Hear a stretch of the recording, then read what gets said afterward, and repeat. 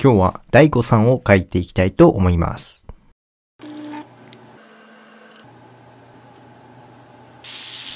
ルエリア小さい絵を毎日描いてアップしているベルソンです。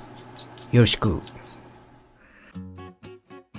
最近ね、眠いのよ。塗ってる最中。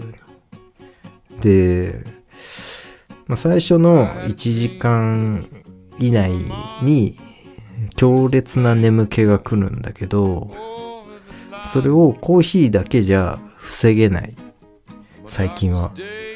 で、最近なんかいろいろつまむようになって、チョコレートとか、あの、細いイカそうめん。なんかああいうつまみみたいなのをつまんで、で、あと、耳からの刺激、音楽、YouTube、ラジオ、その3つを使って、いろんな刺激を俺、俺自身に与えて、眠気との戦い。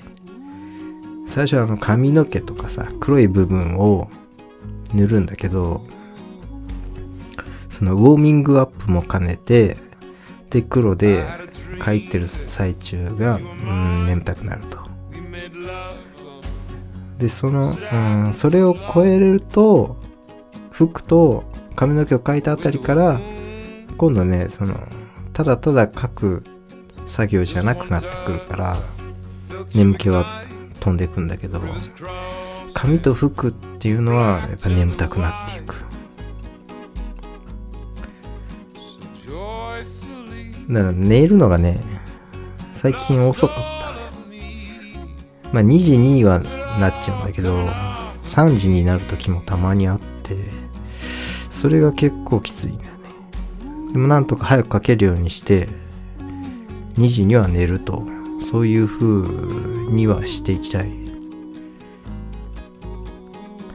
今日はこれで完成です。ではまたね。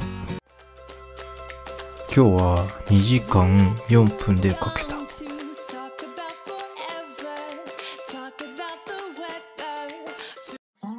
ご視聴ありがとうございます。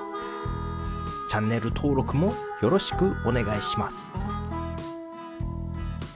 インスタグラム、ツイッター、フォローよろしくお願いします。他の動画も見てね。それではまた。